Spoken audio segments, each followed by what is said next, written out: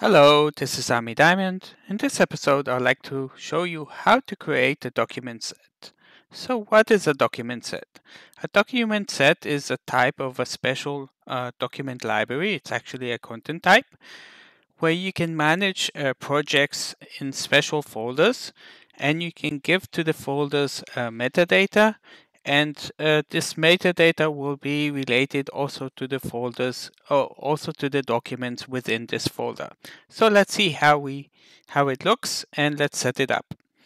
So uh, I'm on a team site uh, which is called uh, document set demo. I'll go to the gear icon. First of all, we need to activate it.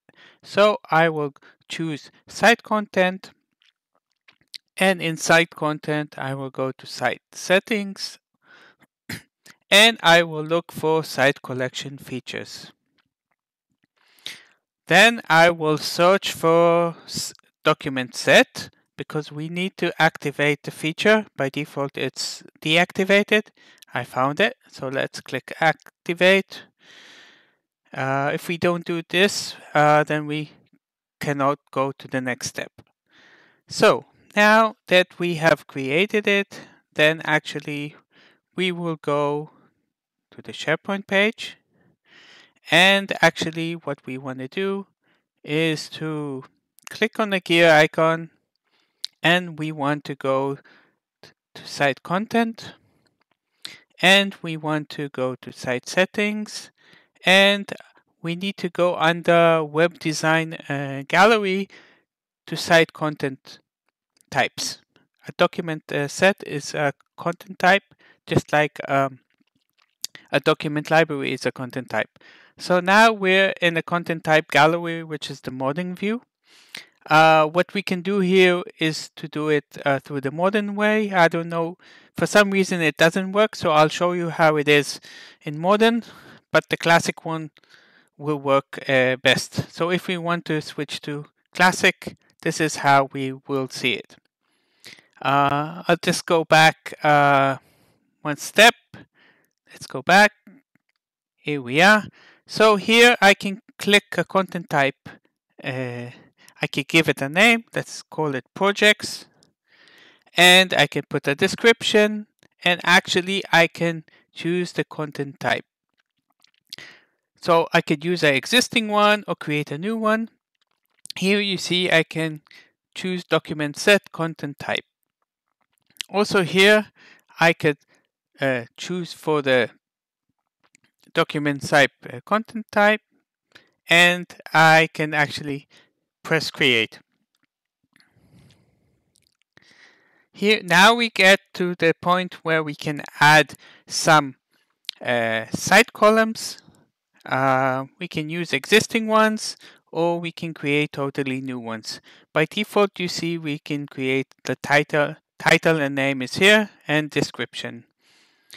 Uh, so we can add some uh, uh, site columns. Uh, we can uh, add from existing. So let's look for, for instance, let's look for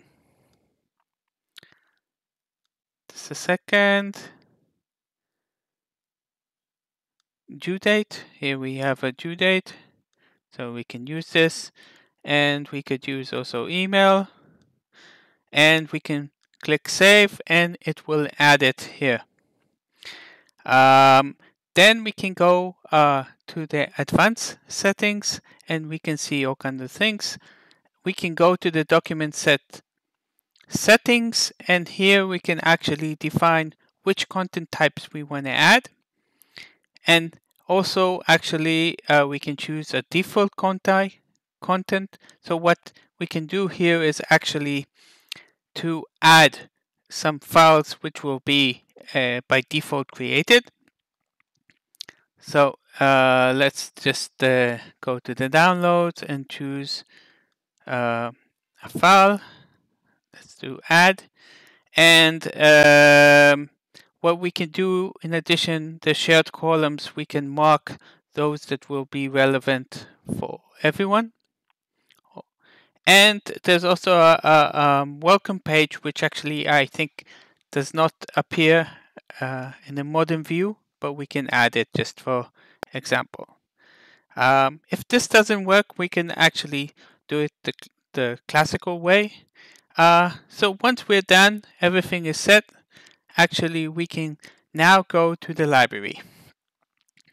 So uh, let's go to the site itself.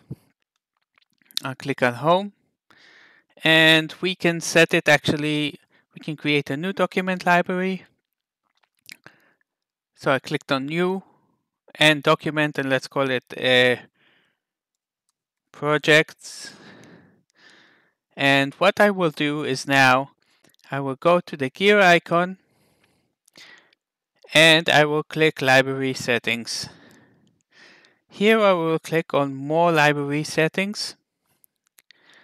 And what I need to do is first I need to go to the advanced settings and I need to enable allow management of content types. I'll click OK and now I can go uh, under the content types and I will add from existing content types. I will choose uh, the content type which we created. Let's look for let's look for it. Here, I think this is it, document set. No, I think it was a project. So let's remove this and uh, let's click OK. Okay, so actually we added a, we added it. We have also the content type of uh, documents, but we can actually maybe delete it.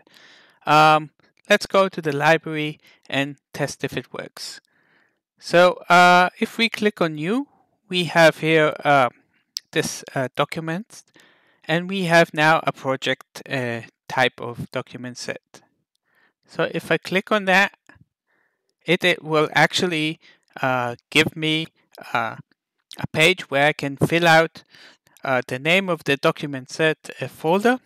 And so let's call it uh, project A. And this is a project demo. And here we can uh, set the when is the due date. Let's say the 30th of December, and let's put a mail. This is, uh, for instance, my mail. Let's save. So this is what we did actually now is that we uh, created a document set that actually uh, we gave some uh, metadata. We don't see it here, but if we click on add uh, columns and show and hide, we can add them here. So we had a due date and we had, uh, what was the next one? We had something different. Um, let's look for, what was it there? Uh, well, an email. Yep, here we have apply. So now I see this information.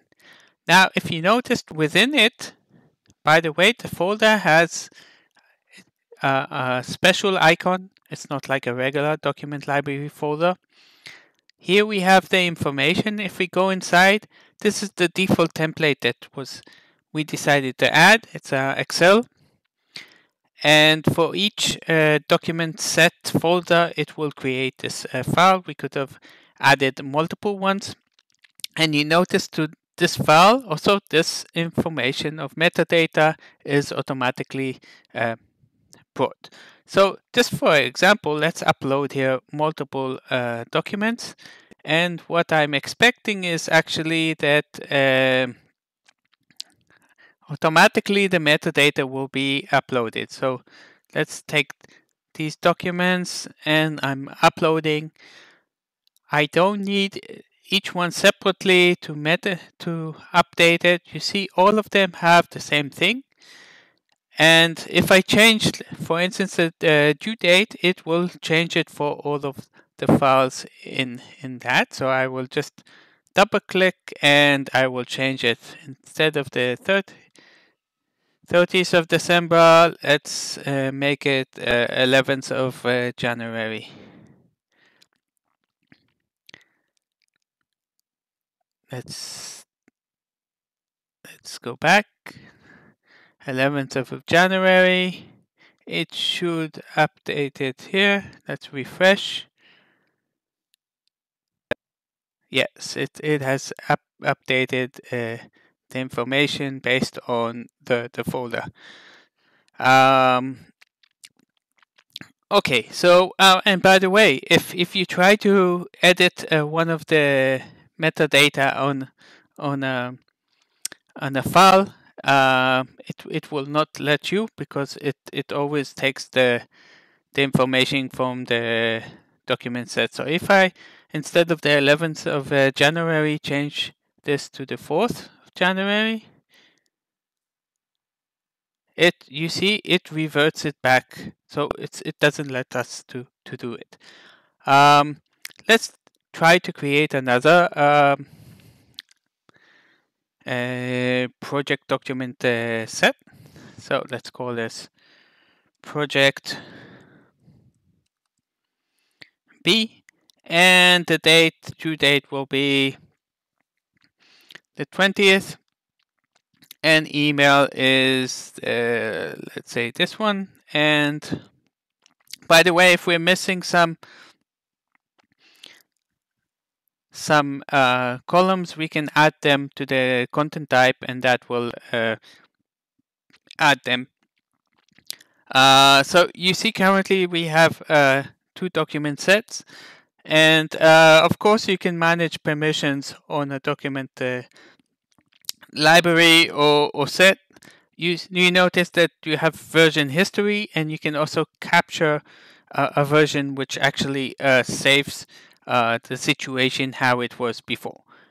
Um, uh, of course, we can also do some views that say, uh, for instance, I can create a new view, give it a name, let's say uh, no folders, I just gave gave a name and now I will actually edit it, the current view, and I can, uh, what I can do is to say, let's uh, go to the folders and show folders without, show files, items without folders. What we see here is actually showing everything uh, without the folders, project A, project B, uh, strangely enough, it's showing this. I didn't expect that. Uh, but uh, what we can do here, we can also see um, uh, we can filter by email, for instance, or by file. So this is my Hotmail, and this is my uh, Gmail. So you noticed actually that um, it's just like we have in a document library, but we have uh, special things that we don't have. Uh, so to set it up, it's a bit, uh, you need uh, to have uh, the permission rights, uh, but but once it's set, then then you're set to go. I just wanted to show you, I, I showed you that the the, the modern way of doing it, but if we switch back to the classical view, then uh, what we would do is we will do create, and we would give a name uh, project 2.